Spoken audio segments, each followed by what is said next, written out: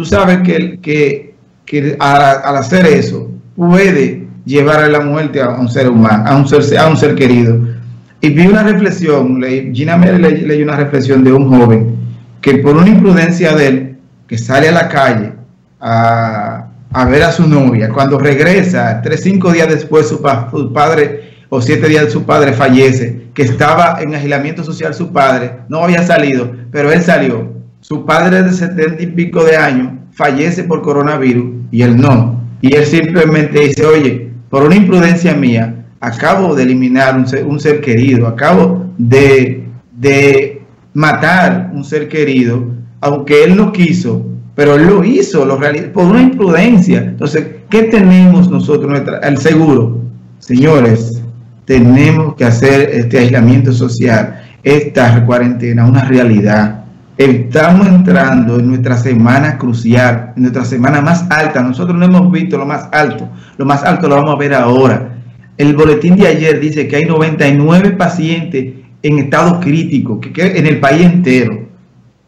Yo no quiero ser eh, ave de, de, de mal agüero, pero cuando a mí como médico me dicen que hay 99 pacientes en ventilación, 99 pacientes en estado crítico, en unidades de cuidado intensivo, tengo que sacar un cálculo que mínimo un 3 a un 5% de esos pacientes hoy amanecieron o fallecieron. O sea, por, por, por, por lógica y por estadística como médico que he visto. O sea, que si ayer fueron 24, hoy, hoy serán por encima de 24 y lo verán. Vamos a ver, te vamos a ver el boletín que va a ser a las 11, pero si el, el, el, boletín de ayer me dice que hay 99 en estado crítico, señores, y 99 en estado crítico, ¿sabes, cuáles son? Varones, por mayores que, que hembras, por encima de 60 años, pacientes con condiciones eh, anteriores de enfermedades, o sea, eh, en condiciones comórbidas como como diabetes, hipertensión, insuficiencia renal, eh, cáncer. Esos pacientes, esos pacientes que nosotros tenemos en nuestra casa, que quizás no son, no son, tú como joven, porque le estoy hablando y haciendo un llamado al joven, porque el que más se ha resistido, el que menos cree y el que se siente inmortal es el joven. Ok, usted es el mejor protegido en este, por este virus, pero usted no sabe la condición de su pulmón como hemos visto, jóvenes que han fallecido por el uso de la juca, el uso del tabaco, el uso de eh, estupefacientes, el uso de droga. Todo eso son, son, son condiciones debilitantes donde su inmunidad está muy, muy por debajo y puede ser afectado. Pero llamar a esos jóvenes a que se cumpla el distanciamiento social, que se cumpla la cuarentena, que cuando, la, cuando toque la sirena de las 5 de la tarde, cuando llegue a las 5 de la tarde, usted ya esté en su casa.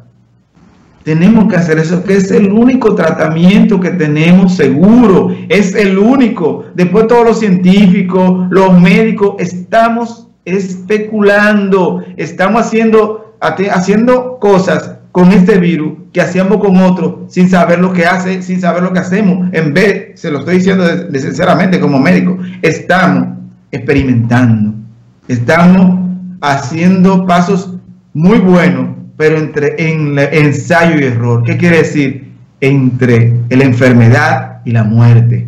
Ahí es que estamos haciendo nuestro primero, nuestro primero pensamiento de, de conocer esta, esta condición especial que tenemos ahora. El mundo cambió, tenemos que cambiar, tenemos que hacer de la vida cotidiana que ya no va a ser tan cotidiana. Ahora todo el mundo desea, que desea aburrirse como se aburría antes en su vida cotidiana. No, ya la vida cotidiana es otra, es otra, Víctor. Así es, tal cual eh, señala Sergio. Si bien es cierto, que hoy en día, hoy todavía, hoy estamos a 13 de abril, ya esta situación lleva unos dos meses, ¿verdad? Causando impacto en, el en nuestro país. Eh, entonces, si bien es cierto que todavía no existe eh, un medicamento, un antivirus, una cura, eh, ni siquiera vemos que esté cerca, porque todos sabemos que hay un equipo de científicos, ¿verdad?, que se han reunido con el objetivo de buscar eh, descubrir una, eh, buscarle una salida, una solución a esta situación que vive el mundo. No es menos cierto, como tú muy bien señalas, Sergio Romero, que hay una, una prevención que tal vez eh, conlleva un poco de sacrificio. ¿Cuál es el sacrificio? Lo, que, se, lo, que ha estado, lo que han estado las autoridades, la OMS, la OPS,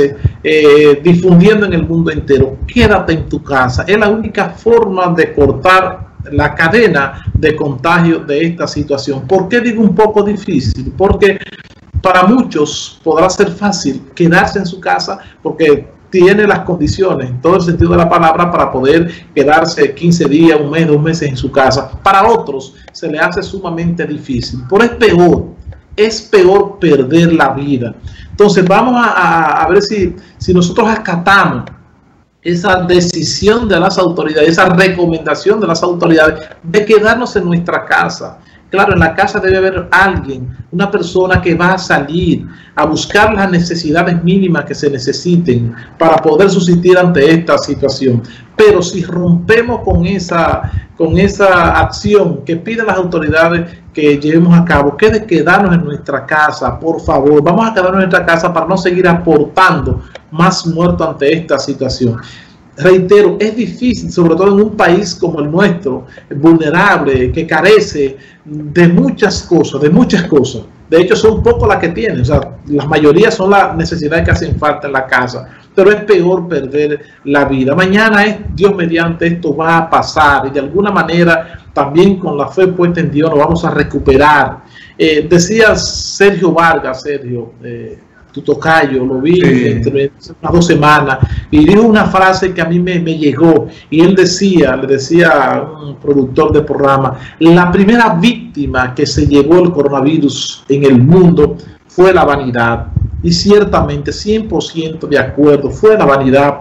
Tú oíste, serio amigos televidentes que nos siguen, eh, el testimonio que dio el hijo del dueño del Banco Santander, su padre murió con todo el dinero del mundo, pero no pudo comprar la suficiente cantidad de aire, que es el oxígeno, ¿verdad? El que, el, que todos los seres humanos debemos nutrirnos para poder eh, respirar y estar vivos. Él no pudo. O sea, el dinero no consiguió eso. Entonces, Sergio de manera muy certera decía, la primera víctima que se llevó el coronavirus fue la vanidad.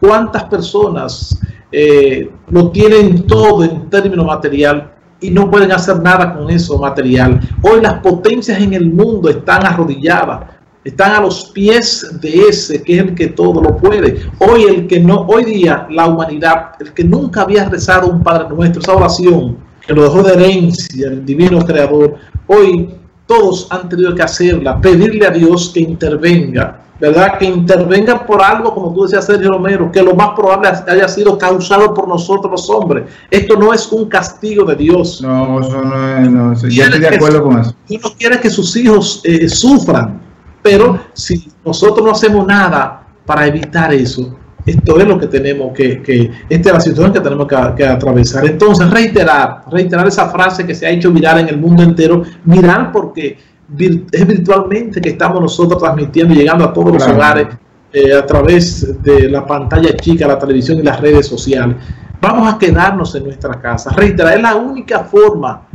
Lo dicen las autoridades. Afortunadamente, tengo la oportunidad de compartir diariamente con Sergio Romero, que es médico. Es la única alternativa que tenemos de evitar que sigan muriendo personas y que se sigan contagiando. Porque para morir del coronavirus, primero hay que contagiarse. Para evitar contagiarse, es quedándonos en nuestra casa. Y eso es lo que nosotros desde aquí hemos estado propugnando para que nos quedemos. Vamos a hacer el sacrificio de quedarnos en nuestra casa y que salga la persona eh, eh, que está que sea autorizado en la familia a que salga a buscar las cosas y las necesidades que hacen falta en la casa. Así que vamos a quedarnos en nuestras casas. Pero yo quiero aprovechar para saludar, está en sintonía, como siempre, nuestro amigo Stanley Alvarado, así también su esposa, ¿verdad? un abrazo virtual.